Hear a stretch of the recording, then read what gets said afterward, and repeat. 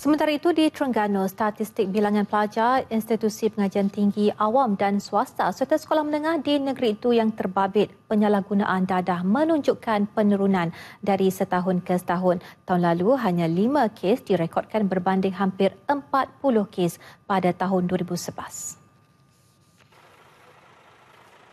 Tindakan tegas Jabatan Pendidikan Negeri, Agensi Anti Dadah Kebangsaan, AADK dan polis antara faktor menyumbang kepada penurunan itu. Namun pada masa sama, pihak pengurusan sekolah dan ibu bapa juga perlu bertanggungjawab untuk sentiasa mengawasi pergerakan dan tingkah laku pelajar serta anak masing-masing mengelak mereka terjebak dengan dadah. Dan biasanya uh, pelajar ataupun yang anak-anak yang terlibat dengan dadah ni dia ada perubahan sikap. Pertama dia mula pandai uh, berbohong dan mereka sangat uh, sangat pandai bercakap, memberi keyakinan kepada ibu bapa seolah-olah uh, dia langsung tak terlibat dengan perkara-perkara yang yang dicurigai.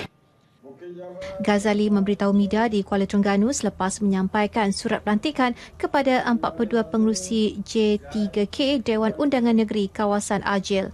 Pada masa sama, Jabatan Pendidikan Negeri sentiasa menjalankan beberapa program termasuk sayangi diri sebagai langkah pendekatan membenteras dadah.